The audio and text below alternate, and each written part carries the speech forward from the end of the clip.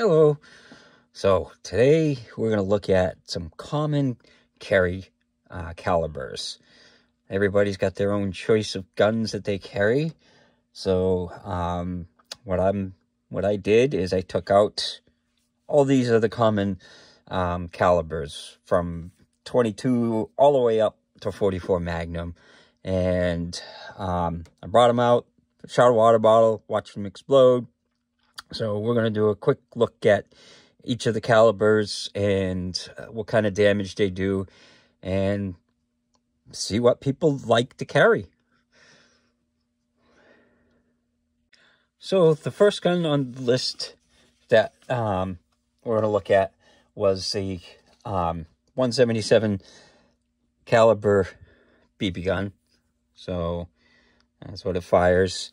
And it's a CO2 cartridge thing and I used a Glock 19 pellet gun.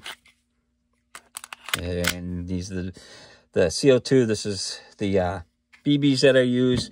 Now, a um, BB out of a gun like this, going at about, you know, 500 something feet per second, which this is going to be somewhere, give or take, that'll produce three foot-pounds of energy. And as you can see, uh, three foot-pounds of energy didn't even break the water bottle. I thought I was missing, but um, I, did, I did hit it, and it did virtually nothing.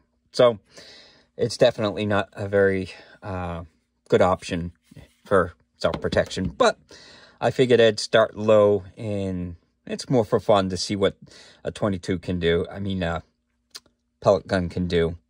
So uh, let's go on to the next. So the next on the list, because of the uh, BB didn't work very good, um, I wanted to see what the like the max pellet gun could do. So this is um, this is pellets. This is what I was using, 7.4 grain, and I shot it out of a Ruger Blackhawk Elite rifle. So this is producing about 1,250 feet per second for velocity. And at that speed and that weight, it's about 11 foot-pounds of energy. So, um, would it be deadly? Well, I mean, it goes right through a water bottle. Uh, it doesn't explode or anything. So, if it hits something vital, it might be deadly. But uh, it's not exactly the perfect self-defense round. But I figured I'd throw this in just so that way we've got some kind of a baseline. So next on the list is a 22 long rifle. Now, a lot of people are like, oh, that's not very good self-defense round. And this is what a 22 long rifle looks like. Um, well, it may not be, but if you can't uh, can't handle a bigger gun because you're recoil sensitive or something, then 22 is an option. So this is uh, the Glock 44. I tried to stick with uh, mostly Glocks for the tests. And these are 40 grain 22 long rifles. And those are producing, uh, because of the speed and the weights, they're about 131 foot-pounds of energy. So, um, and as you can see with the water bottle, it goes right through a water bottle. So um, if you were shooting at a person, you would probably be able to kill them if you hit it in a vital spot. I mean, if you hit them in a non-vital area, you, may not, he may bleed out, but I mean, if you hit him in the heart or, you know, in the head or something like that, then it can definitely be legal. But, know, so that's a 22 long rifle.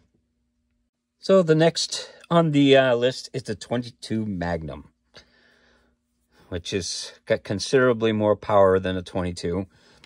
These are what I was firing. And a 22 Magnum will produce about, going at about 1,875 feet per second. It'll produce about 324 foot-pounds of energy, which is actually quite a bit of energy for such a small bullet. So that's how it does a lot of the damage. It'll just zip right through. Um, you may get over penetration. Um, you know, and I used the Taurus revolver because I didn't have a semi-automatic uh, 22 Magnum. But as you can see, it definitely goes right through the water bottle, no problem, and it even explodes it. So, and that's the 22 Magnum. So the next caliber we're going to look at is the 380. Uh, this is what I was using, the 90 grain 380s, um, jacketed hollow point. And I used the Glock 42. And um, this 380 will produce about, at about 980 feet per second. It will produce about 203 foot-pounds of energy. So uh, definitely it's enough to kill someone. Um, as you can see with the water bottle, it just blows it right up. Um, so there's some debate whether or not it's got enough power, knockdown power and stuff. Um, it may not, you know, shoot through thick uh, clothes or whatever, but if it definitely, if you're close range, a 380 will definitely be lethal. So the next round we're going to look at is the 9 millimeter, And of course, this is probably the most uh, common caliber that people carry. Um, uh, I was shooting these today for the water bottles. They're the Critical Defense by Hornady. Um, I've also got like Hydra-Shoks that I've used. These are, I've had for a while, so I figured I'd use those. But um, yeah, so the nine millimeter, uh, it travels at about 1180 feet per second, and that'll produce about 350 foot pounds of energy. So it's definitely uh, lethal, and it'll go through a lot of, you know, uh, garments and stuff like that. So it's got pretty good penetration for the uh, the power factor. And the nice thing about 9 millimeters, you can get, you know, pretty high capacity guns. Like, you know, this is the Glock 17, which is what I use. And it's got 17, it's got a 17 round mag. And you can get ones that have, you know, 20 round mags and stuff or more. But as you can see, it has no problem, you know, it's blowing up a water bottle. So the next caliber on our list is a 38 Special. This, these are 158 grain, uh, full metal jacket. And uh, I fired it out of a Model 13 Smith & Wesson. Uh, and, you know, the 38 Special had, was the mainstay of police revolvers for the longest time. Uh, so uh, traveling at 940 feet per second, it produces about 310 foot-pounds of energy. So it's less than a 9 millimeter, but um, it's still pretty pretty powerful. And if you get some of the plus Ps, you can get almost the same as an, a 9 millimeter. Um, so, as you can see, the water bottle, it just explodes a water bottle. So, yeah, it's definitely a very common round, and it's still used today in a lot of firearms. The 38 snub nose is still a very popular handgun. So, uh, and that's the 38 special. So the next caliber we're going to look at is the 357 Magnum. Uh, these are 158 grain uh, bullets. They're jacketed uh, these are soft points, but you can get hollow points and all that.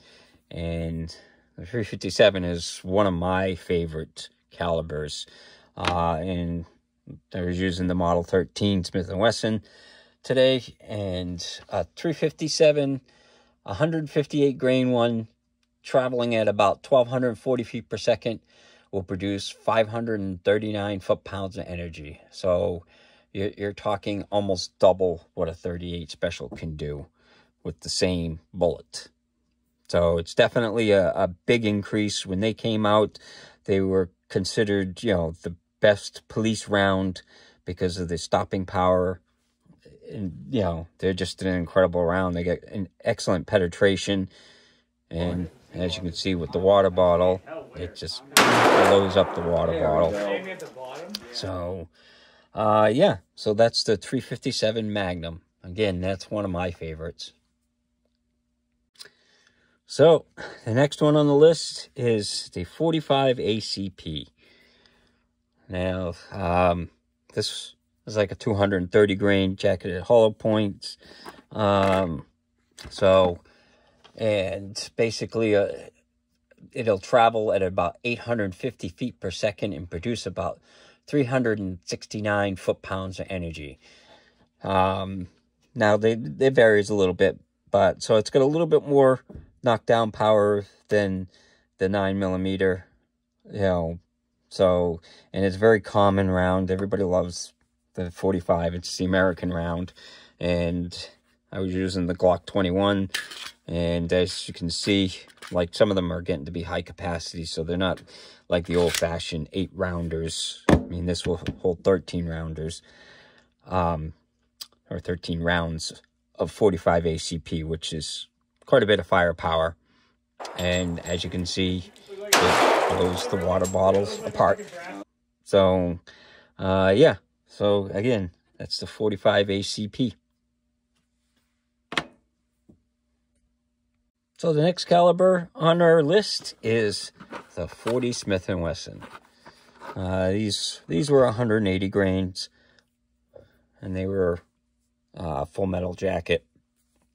But um, according to the data, a uh, 40 Smith & Wesson 165 grain one will travel at about 1130 feet per second and produce about 468 um, foot-pounds of energy. So that's pretty good. It's more than the 45. You can get 45s that produce about that kind of energy. And I used my uh, Glock 40. I got a conversion barrel to shoot 40 Smith & Wessons out of it. And as you can see, they have no problem blowing apart a water bottle. So penetration on the 40 is pretty good. Um, it came from the 10 millimeter that was um, downloaded because the FBI didn't like a full power 10 millimeter. So that's where the 40 Smith & Wesson came from. Um, it's kind of gone a little bit more into obscurity. Um, it's still very popular, but it nine millimeters now you can get nine millimeters it'll it work just as good so more people prefer to go with the nine millimeter because of the uh, cost but um, it's still a great caliber so that's the 40 smith & wesson so the next caliber we're going to look at is the 10 millimeter and that's what i was using today just 180 grain bullets and that's what the 10 millimeter looks like this is one of my favorite semi-automatic uh, rounds out there. So a 10 millimeter, 180 grain, well, you know, you can get an average velocity of about 1,300 feet per second, and the uh, foot-pounds of energy is 708 at that velocity. So uh, when you think about it, that's more than twice what a 9 millimeter has for energy. So it's definitely got a lot more uh, to it. But it's got a lot more kick, too. And I was using the uh, Glock 20. I tried to I stay with most of the Glocks for these things. But, and of course, the water bottle just blows apart. So, and the nice thing about the uh, 10 millimeters is like this is a 15 round capacity. So you get a lot more rounds than a 45 usually um, with a lot more power. But that's the 10 millimeter. So the last one we're going to look at on the list is the 44 Magnum. Now, the ones that I shot were 240 grain, um, just regular round nose. This is a hollow point, but it's the same idea. You can see the the size and stuff. And the uh, 44 Magnum at 1180 feet per second will produce about 741 foot-pounds of energy. But um, they have ones that are definitely loaded a lot hot, hotter, and that can kick the uh, power, the, you know, the foot pounds of energy up over 11, 1200 pounds. So um, these definitely can be loaded a lot hotter, and uh, they're just incredible powerhouses compared to most of the other calibers. Now, not everybody can handle a 44 Magnum. Uh, this is the 6-inch barrel version, and it uh, got quite a bit of recoil to it, but uh, it's not as bad as some of the other guns. But uh, Magnum loads, that's the problem with them, is not everybody can handle the uh, high recoil. But, um, so that's the 40, it's the 44 Magnum. So, here's all the different uh, calibers. Um, so this is 22, 22 Magnum, 380, 9 millimeter, 45 ACP, 40 Smith & Wesson, 10 millimeter, 38 Special, 357, and 44 Magnum. So that's what each one looks like compared to each other's.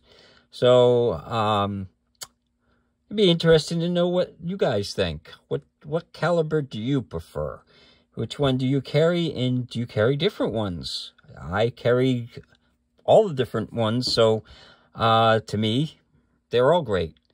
You know, so be curious to see what uh, most people carry for a standard caliber. I'm sure 9 millimeter is there on the top, but I bet you 40 and the 40 Smith and, uh, the 40 Smith and Wesson and the 45 ACP are very common, and so isn't the 38 Special.